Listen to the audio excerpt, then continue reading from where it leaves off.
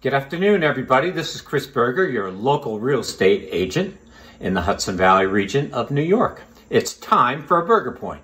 I wanted to point out to you today that when you're looking at a rooftop and you see a chimney, then you know a couple of things. One, it probably has an oil burner, and that's how it heats the house. Two, in all probability, it also has a fireplace. So I'll check this out and we'll give you a little closer look.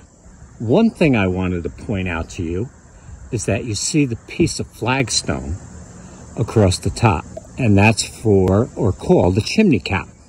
Now, it can either be done in stone, or they actually make steel caps.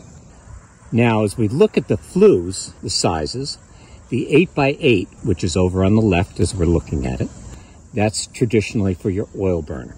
The next size is an 8x12, or 12 by 12, which should be used for a fireplace.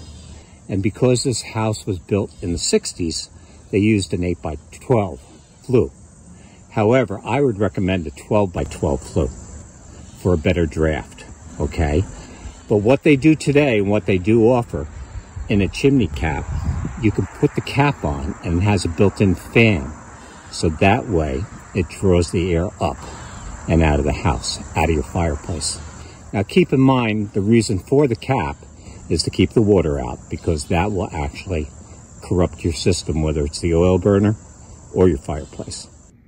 Well, I hope you enjoyed the view from the roof today. And there's nothing like watching a little Neil Diamond, who we saw back in, I believe, the year 2000, and a couple of other times before he retired, which what a fabulous man and show he puts on. And uh, nothing better to listen to some music, enjoy the fire behind me. That's the Berger point of the day.